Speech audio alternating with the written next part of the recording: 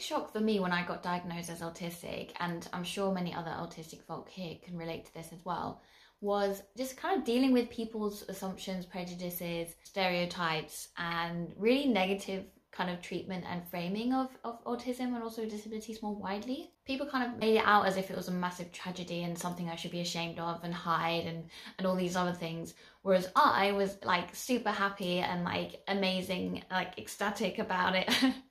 and like I was like, woo! And like they really like killed my buzz, like not loads, but it definitely had an impact on me where I was just like, what are you talking about? And it kind of shows the state of our approach to disability as a society as well, um, which is far too negative. Um, and it comes from like eugenic thinking, and I'll come on to that later. It really does need to change for multiple reasons. A lot of people would see disability as a negative thing, whereas it's much more complicated and nuanced and it's hugely varied. Again, not to romanticize them, but there's variety there where it's not just seen as a, you know, so called negative thing. That really needs to be mainstreamed, that kind of knowledge that this is not a problem. Yes, again, I'm not trying to make it sound easy. And again, we have a lot of different perspectives in the disability community. In light of that, we need that reflected in how the mainstream treats these experiences. We need to listen and prioritize and centralize these experiences, and that's how we're going to learn and move forward. Here are some examples of the kind of treatment I get when sometimes when people find out that I'm autistic. Obviously, I've mentioned that people frame it quite negatively. I also got a text from my siblings saying, I'm sorry to hear about the health news when I found out that I was autistic, as if I was like seriously ill when I was like like off the moon. Is that the expression? I was like super happy about it. So get to get this text, I was like, what? and they sent me like this link to this really problematic documentary about like people who are autistic and trying to cure autism. And it was really horrible. And I was like, okay, yeah, that like really hurt me. and I don't think it's unusual, again, that people experience and kind of treat autism as a tragedy um, whereas I personally don't feel that's the case for that's not how I experience it. I know there's lots of other autistic folk who who don't experience it like that. Some of us do experience it like that. Um, and I'm not trying to take that away from people. And I'm not trying to, it is very difficult being autistic, but in my experience, for me, that is largely to do with how society treats us. And that's, you know, that's what I'm talking about right now. I, I've seen people kind of assume that I like can't really communicate very well um, and again, not that these things are very, these things are not simple to articulate, which I guess shows it's not very easy to like summarize communication, like what is good communication. A lot of the time, the stereotypes are kind of the opposite of what is, you know, the truth or reality. A lot of us are amazing at communication. Yeah, obviously there's like different levels of needs and some of us are non-verbal, but it doesn't mean that those people can't communicate. Like, in fact, there's there's different ways um, non-verbal autistic people can communicate and there's different methods and tools as well that that help. And a lot of time, non-verbal people can communicate like very effectively through these different means and ways. So I think it's really about changing what we think is so-called effective communication and ways of like diversifying communication as well. I don't think neurotypicals or neurotypical culture is like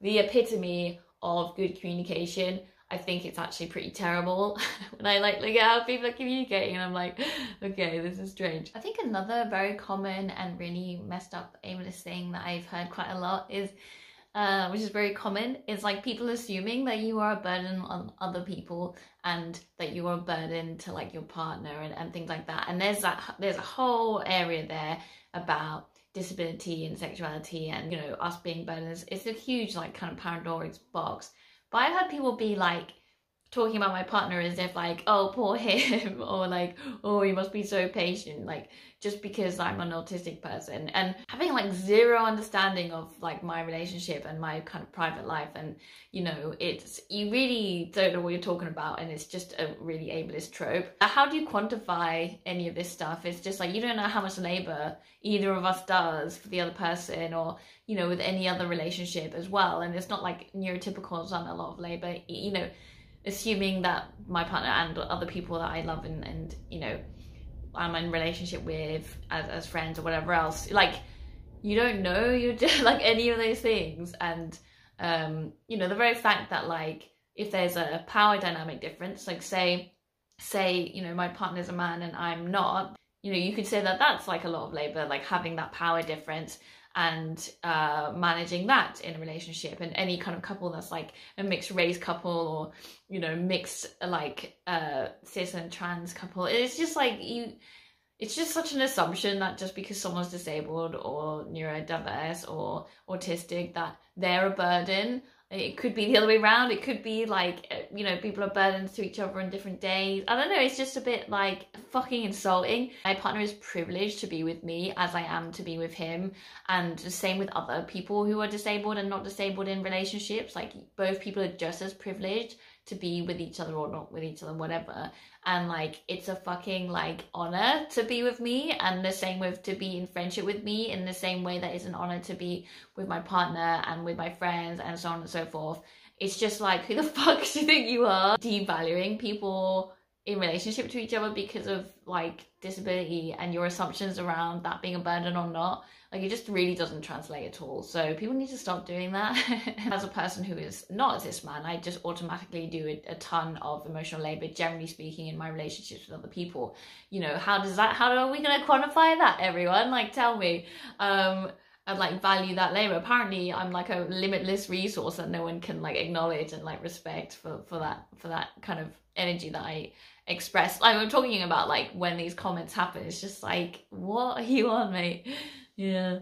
Anyway, so out to all the disabled people, it's a fucking privilege to know disabled people and you whatever capacity you're in relationship with them, fucking respect that. You're not doing them a favor, okay? You're not at all. Um, especially if you got that kind of attitude. so so yeah.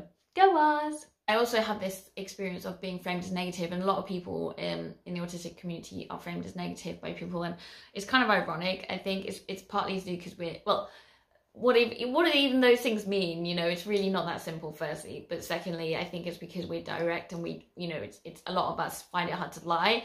A lot of us are just like bam like with what we feel or think about certain things. And there's other people that seem to frame this as negative. So that's really to do with them obviously. I mean most of these things are to do well they are to do with the other person rather than the autistic people that they're talking to. But i just think it's so ironic. I just think okay so um, let's take with a question like, how are you?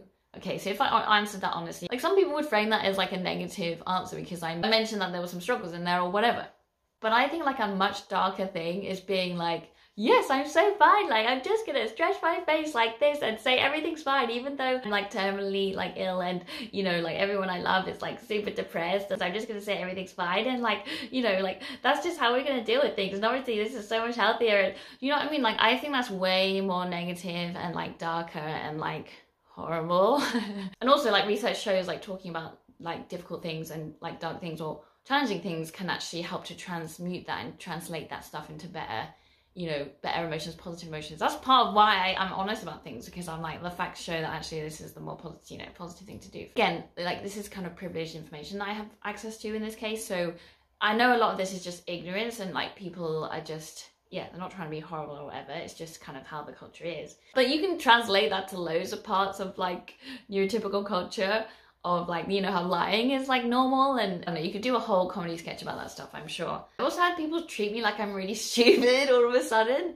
Um, like one of my neighbors was like when they found out that I was autistic they were just like acting like I couldn't do anything. I remember they asked like the plumber to pass a message on to my partner in front of me and I was like I can do that and um, also I was doing very kind of simple stuff with my phone I can't remember what it was they were just like, "Oh yes, you're doing very well," and I'm just like, "Oh god." And again, I know it's like about ignorance and you know ableism and blah blah blah, but it's still it's not very easy to experience. The more loving side of me, the more agreeable side of me wants to be very like kind of you know loving, compassionate, and understanding and kind of forgiving about these things, but then there's like the dysregulated, like childish, more like trauma response side of me that wants to be like, are you fucking kidding me? Like I'm smarter than you, motherfucker. No, I'm kidding.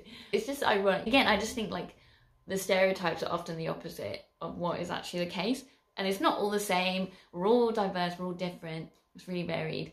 And again, nuanced, but yeah, I just think people should just think a little bit before they like open their mouth and like say what they've been taught by a really problematic culture.